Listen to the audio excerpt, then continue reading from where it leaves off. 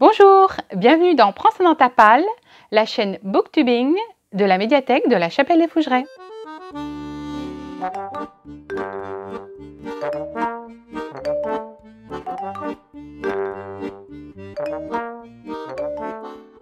Je vous propose aujourd'hui de lire le roman pour adultes intitulé Nésida de Valérie Patureau. C'est édité en 2020 aux éditions Liana Lévy. C'est l'histoire d'une femme qui naît à la fin du 19e siècle un tout petit village sur des terres arides dans la Drôme.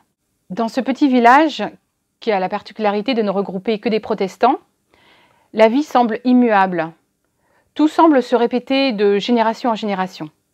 La destinée des habitants est de devenir paysans pour les hommes, ou travailler à la manufacture un petit peu plus loin, et pour les femmes, de trouver un bon mari et d'élever les enfants. Mais cette femme, Nésida, élevée par son père, puisque sa mère meurt à sa naissance, va conquérir une certaine liberté au prix de grandes luttes et va s'émanciper. Elle quitte le village pour exercer le métier dont elle rêve, infirmière, ce qui était très peu courant à l'époque puisque c'était réservé plutôt à des religieuses. C'est un roman choral avec des flashbacks, comme si l'auteur interrogeait plusieurs personnes qui ont connu Nésida durant sa vie et comme s'il y avait une enquête qui était menée.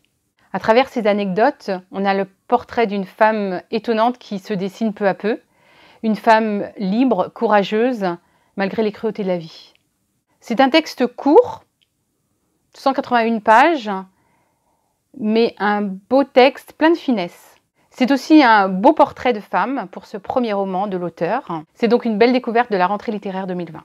Au revoir et à bientôt pour un autre épisode de Prends ça dans ta palle.